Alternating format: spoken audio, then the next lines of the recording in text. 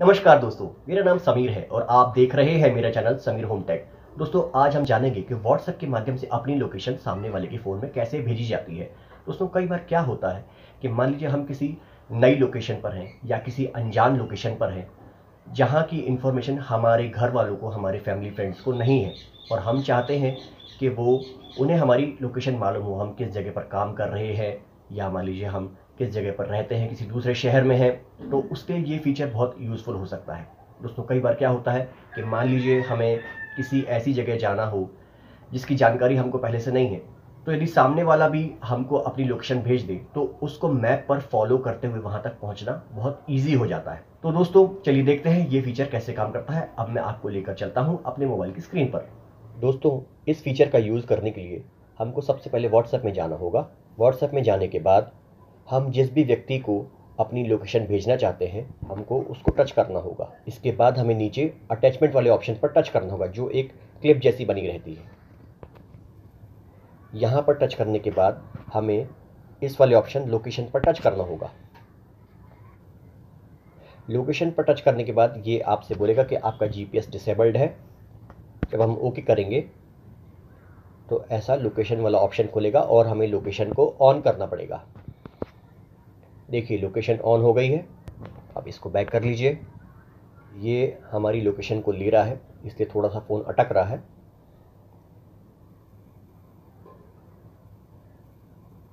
जो blue dot है, ये हम हैं।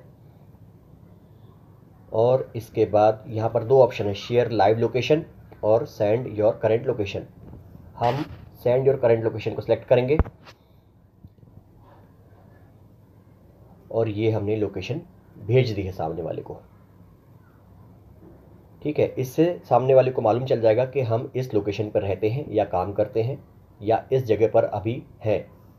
अब दोस्तों मान लीजिए आप लाइव लोकेशन शेयर करना चाहते हैं, उसके लिए आपको वापस पिन पे क्लिक करके सॉरी पिन पर टच करके लोकेशन को सिलेक्ट करना होगा और शेयर लाइव लोकेशन पर टच करना होगा।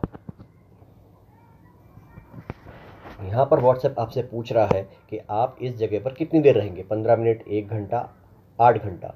मान लीजिए हम यहाँ पर एक घंटा रुकेंगे तो एक घंटा को टच करके हम यहाँ पर कमेंट कर सकते हैं। मैं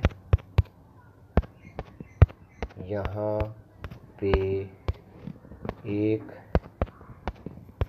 घंटा रुकूँगा और इसके बाद भेज दीजिए।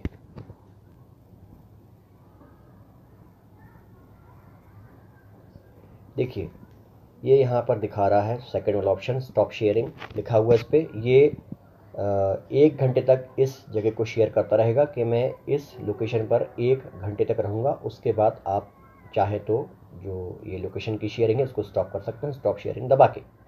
अब हम दूसरे फ़ोन में जाके देखते हैं कि हमें वहाँ पर क्या करना होगा। ये हम दूसरे मोबाइल की स्क्रीन पर आ गए हैं। यहाँ पर हमें अपनी भेजी हुई लोकेशन को एक्सेस करने के लिए व्हाट्सएप पर जाना होगा। ये व्हाट्सएप ओपन हो गया। यहाँ पर हम सबसे पहले वाले ऑप्शन को सिलेक्ट करेंगे। ये देखिए, मैंने दो मैसेज भेजे थे। फ़र्स्ट वाले ऑप्शन को हम टच करेंगे। ये देखिए, ये हमारी लोकेशन यहाँ पर दिखा रहा है। इस लोकेशन तक पहुँचने के लिए हमको स्टार्ट बटन को दबाना होगा। स्टार्ट बटन को हम दबा देंगे। ठीक है दोस्तों, इस तरह से हम इस लोकेशन तक पहुँच सकते हैं। दोस्तों लाइव लोकेशन देखने के लिए हमको नीचे वाले ऑप्शन को टच करना होगा।